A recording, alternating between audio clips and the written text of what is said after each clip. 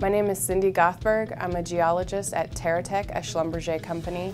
As a petrologist, I look at sediments from all over the world, Australia, Africa, Europe, Canada, and of course the United States. Because I look at such diverse basins, I've actually gone to these locations. When I travel for work, I'm usually presenting at conferences or doing microscope work or core descriptions. Through the microscope work, we're able to identify the zones of interest for our clients.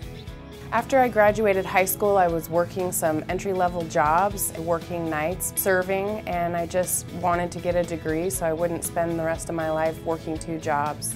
I remember one day getting in trouble for leaving work 15 minutes early and I just thought, there's gotta be a better way to make it through life. My degree is in Applied Environmental Geoscience from Weber State University.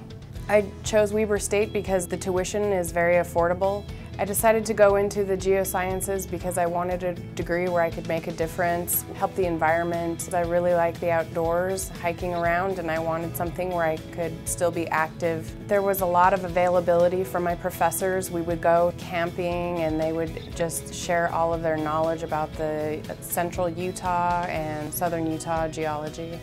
There was a lot of applied learning, hands-on problems, where the homework assignments are geared towards real life work situations. I was able to incorporate things I learned from my professors on field trips and use it for field courses that I take clients on now. We work with clients from Saudi Arabia, Australia, Europe, South America, and I'm able to show them the beautiful Utah geology.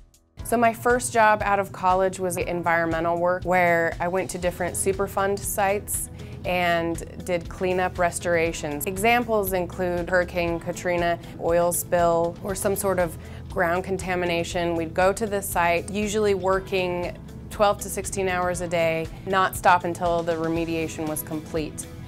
After doing that job for a few years and always being on the road going from one natural disaster to another, although it was rewarding, I couldn't do it anymore. I needed a job that was little more stable with a nine to five hours, so that's where I came to TerraTek.